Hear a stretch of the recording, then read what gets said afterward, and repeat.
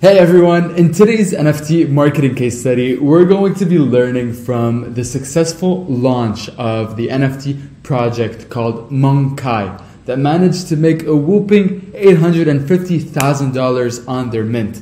More specifically, we're going to be learning two marketing lessons from Monkai's NFT launch that are going to be helping you plan, strategize, and market whatever NFT project you are currently working on. My name is Leon Abboud. I'm the founder of Unfungible.xyz, an NFT strategic consulting and marketing agency aimed at helping NFT projects market their collection. What we specialize in is NFT marketing. So if you ever find yourself in need of extra NFT marketing help, feel free to reach out. It'll be my pleasure to find any way I can assist you, give you any tips, any tricks, and if you want to go that extra mile, you can learn how you can get involved with the agency. So feel free to book your free 30 minute consultation call by clicking on the link in the description of this video so we can take it from there. And one final thing, guys. Yes, I am an NFT nerd. I do spend my day uh, analyzing successful NFT marketing strategies or spend my day with client fulfillment, speaking with clients, helping them on their project. But whenever I'm not doing that, I do try to be a human. I do try to do human things. I go to the gym. I meet people, I go out socializing. So if you want to see a bit more of the human side of Leon and not just the NFT nerd, then feel free to check out my social medias. You can check out my Twitter at Hey This Is Leon and my Instagram at Leon Abboud. With that said, let's get into the video. So there's two marketing principles that I really need you to take to learn from this case study. The NFT space is constantly moving, and if I were to tell you that right now is the toughest time to market an NFT project, regardless of what chain you're on.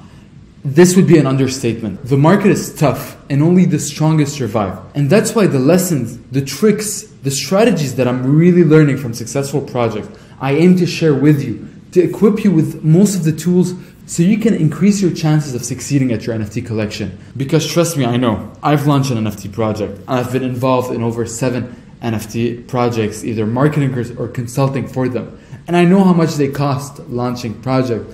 I know the effort and time that goes into them. So that's why I can't stress it enough. Absorb what's in this video, rewatch it, because this is going to save you a lot of mo- time, money, and potential uh, pain from failure. With that said, the two things I want you to take away from Monkai's case study is number one is the importance of creating novelty in the NFT space.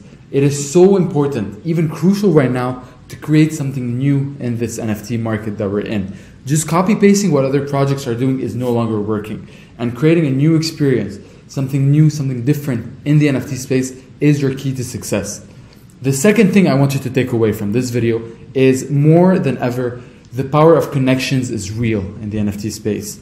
To succeed at a high level, like Monkai did, making over $850,000 off their mint, you need really solid connections. And we're going to see through this case study how they did it and how you can do it as well. So, quick overview of Monkai's project. So, on Twitter, you can see Monkai is the first multi chain NFT on Ethereum, Solana, and Near.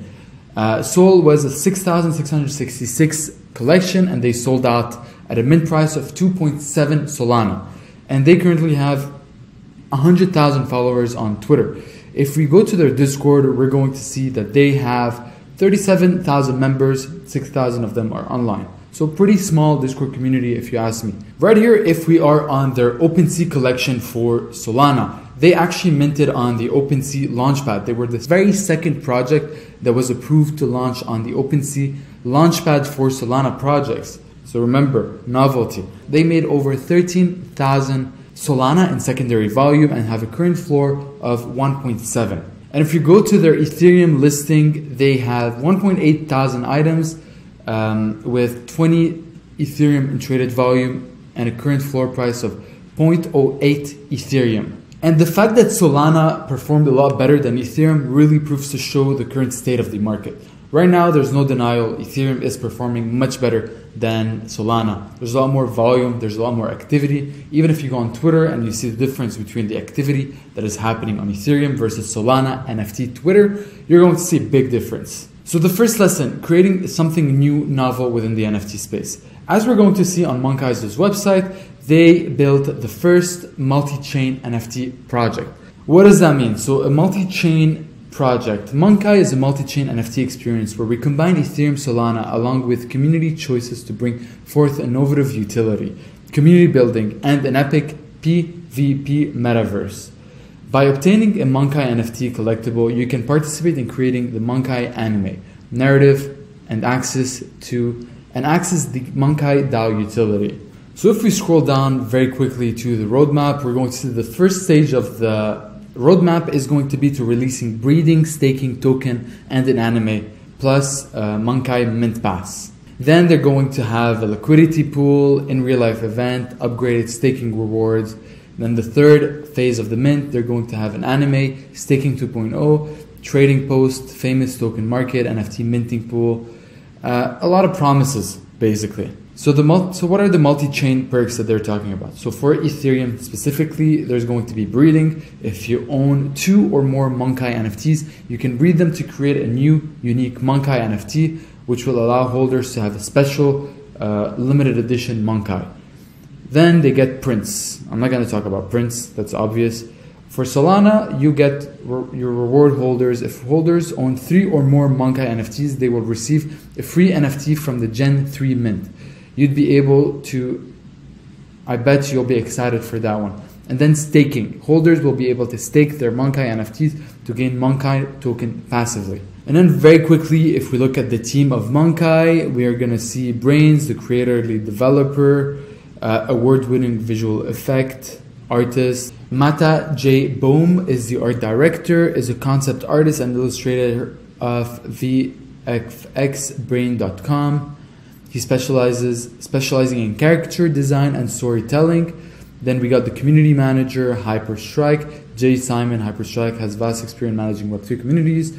In his work at the Soul Flowers as head community manager, as well as HR experience in corporate environment. So here's the interesting thing about Monkai. They built the first multi-chain NFT project. So they were novel.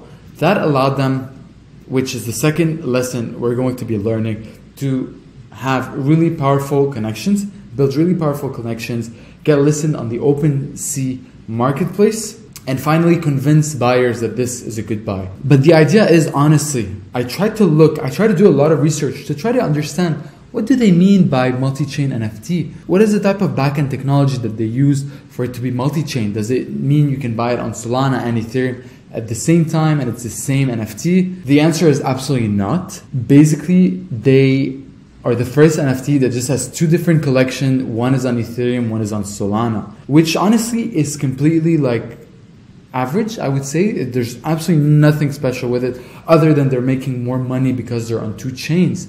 But the fact that they were able to brand themselves as the first multi-chain NFT projects, they were able to convince the market that they are new, they are novel. And most people are not going to do the type of research that I've done for this video and really try to understand what does that mean.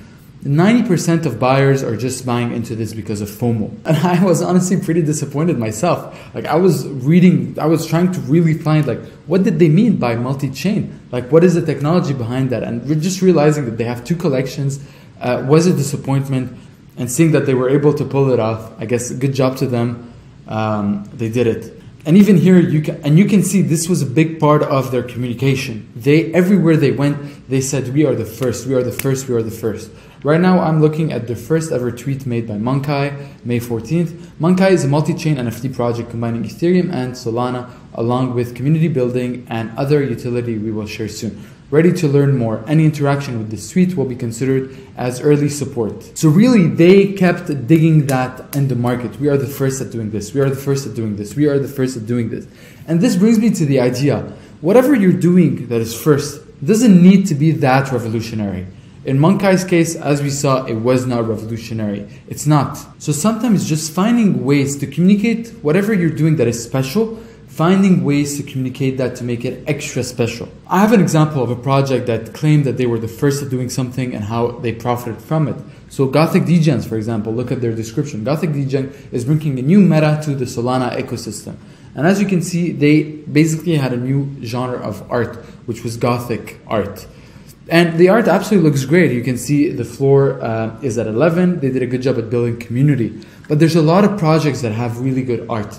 But Gothic Degen branded themselves as the first at something. So this brings me to my principle. I know a lot of you right here are trying to build something new, something different. You're always looking at the market, seeing how you can create value to the market. And that's why it's super important for you, whatever it is you're trying to build, for you to make sure that you're, commu- you're, you're communicating that correctly with the community.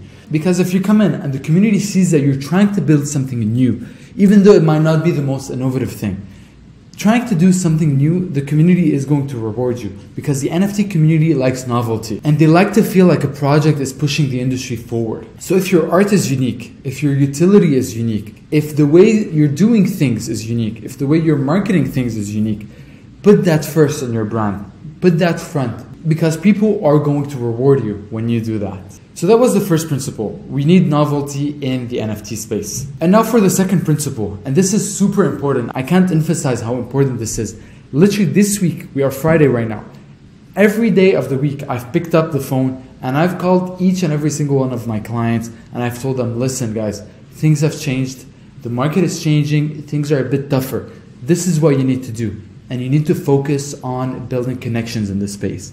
And this right now example from Monkai really fortifies that. So if we go to the first tweet ever made by Monkai on May 14th, as we looked into it, what we're going to be doing is I'm going to be going through the retweets, especially the first retweets that happened, and we're going to be seeing what is it that happened in the very early days of that tweet that kind of created that spark and led to 400 likes, 300 retweets, and led to the community to start to talk about them.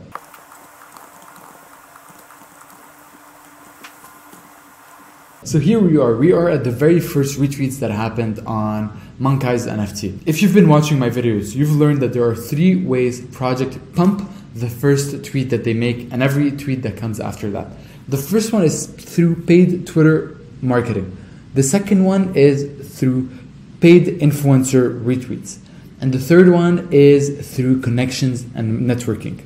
Very early on, very quickly, looking at the very first retweets that happened here, I could see a common theme. People that were retweeting um, this tweet were all from within DAOs. They were part of, they were active NFT buyers, active NFT traders that are part of NFT communities. I'll give you a very simple example. Right here, we have uh, a holder from Degen DAO. Uh, we have a community manager. Right here, we have a holder of Meta Drago, one of the largest um, alpha groups in the Solana space. Right here we have a Soul God holder. Right here we have an Aneroverse holder. Right here we have a Thug DAO. We have someone from Bohemian Art Fair. We have Cats on Crack holder. We have Syndicate DAO. Basically, you can see that the people right here are very well connected. And that means that this tweet that happened early on circulated within those DAOs. So, what happened? I've seen this happen many times we always try to do those with our clients. How can you make sure that your tweet circulates? Oh my god.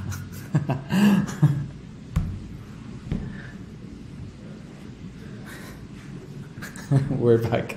So, how, how can you make sure that your tweet your project circulates within those alpha groups within the Solana space. Because it is those people that are smart buyers. Those are the people that are going to talk to you about your project to their friends, to the friends of their friends, and it's going to circulate. Because in the NFT space, word of mouth is the strongest marketing strategy.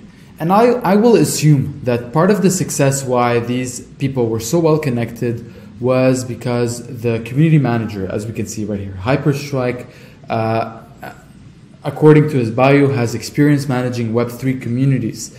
And typically, community managers are the best connected people in the space. Let's continue going through their tweets, find some key uh, moments that happened in the launch, and continue just seeing how they were able to tap into their collabs, into their network to really uh, launch the project that was as successful as it was. So if we look, May 14th was the day of the first tweet. Two days after, they started doing whitelist giveaways. That giveaway has 500 likes, 500 retweets, and only 20 comments, which is surprising. So I guess here they, they didn't really emphasize on tag a friend. Um, I did check they didn't buy followers, so I did look at that.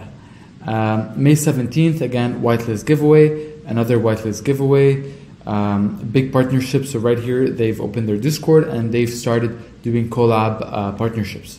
Just to show you what that looks like on Discord, to streamline the onboarding process of DAO collabs, we decided to use this Google form. If you match the requirements, we will contact the representative on Discord to make sure the process runs smoothly. This is way is this is way it's not needed anymore to open a ticket about DAO collab. And then the collab form, very classic. Which DAO do you want to whitelist from? Are you Solana, Ethereum, or near? How many Discord members do you have? How many holders do you have? What is your Twitter project link? How many whitelists you want?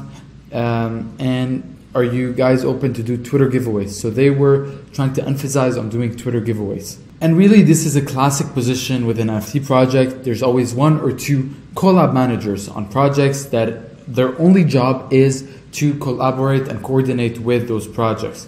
Because this turns into a full time job very quickly. The project does a good job at opening their Discord and marketing their collection. They're going to find themselves very quickly with 300 to 500 collabs in the first day. So right here they released a one minute trailer. They used the, the Netflix logo. I don't know how legal that is.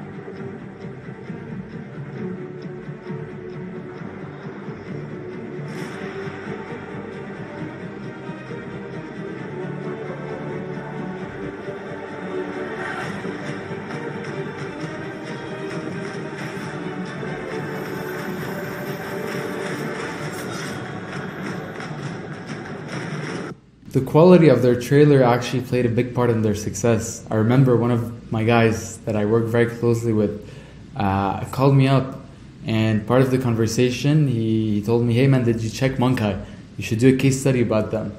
And then I told him, "No, what, what is special about them?" He told me, "Man, they they released their uh, game teaser, and it looks beautiful." And that's really what excited him. So the quality of the marketing creatives that you have is also something that is very important. And then very quickly, we can see that they started going all in on AMAs. AMAs right now is crucial in the current meta that we're in. Regular AMAs with other communities is incredibly important within this space. So right here, Monkai, they did an AMA with with uh, Troll Town, which have 80k and they have they're verified. And then you can see right here, they did another AMA with Metaplex. And then they did another AMA with Rogue Sharks, which have 50k followers. And then they did another AMA with NFT Thinks, big influencers in the space, 50k. And right here, they did an AMA with Pesky Penguins, which have 50k followers as well, big uh, project within the Solana ecosystem.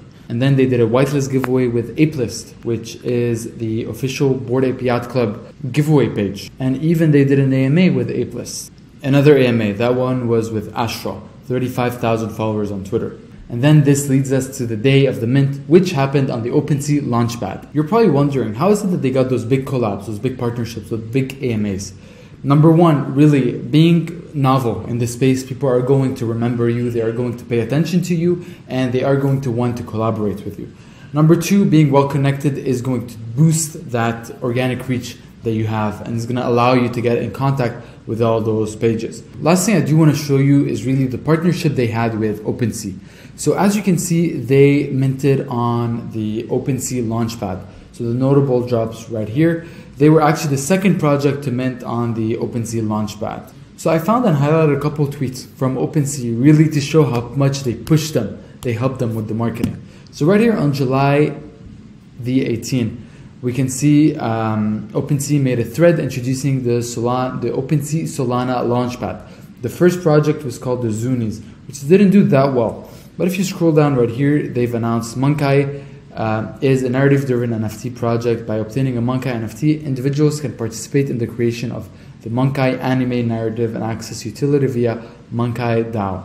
Then two days before the mint, on July 24th, you can see that OpenSea did an entire thread about Monkai. And you look at that, 5,000 likes, 5,000 retweets, 2,500 comments. So a guest thread from Monkai about their upcoming drop on OpenSea Solana Launchpad. Right here, they're talking about the narrative driven NFT project that brings forth innovative utility. And then the project founder is Joshua Kezer. Josh has years of award winning experience in the film industry, working on blockbusters such as Arrivals and Passengers. Then the first collection launching is called Gen 1 Storytelling uh, and is based on the Edo period of Japan. And the future of the and then the future of this project is multi-chain. After Genesis, Jobs will release multi-chain token of the Ethereum collection that soon follows. And finally, uh, stay tuned. What kind of utility can you expect right after the mint? Stay tuned for immediate token launch. Furthermore, just one week after mint, we will release the single player version of the game. Our long term aspiration is to build an anime franchise as we scale the Monkai brand. So, OpenSea definitely played a big part in helping them sell out. And they were really able to get to the point they are at today because of the two principles we spoke about today. Number one, novelty trumps everything else. Number two, connections is your highway to success in the NFT space as we speak right now, August 2022. Thank you for watching this video. I do hope you learned a lot and that you are one step closer to successfully launching and marketing your NFT project. Again, don't hesitate to get in touch with us. Link is in the description of this video if you want to learn how we can help you and help your project. With that said, I'll be seeing you on the very next video. Ciao.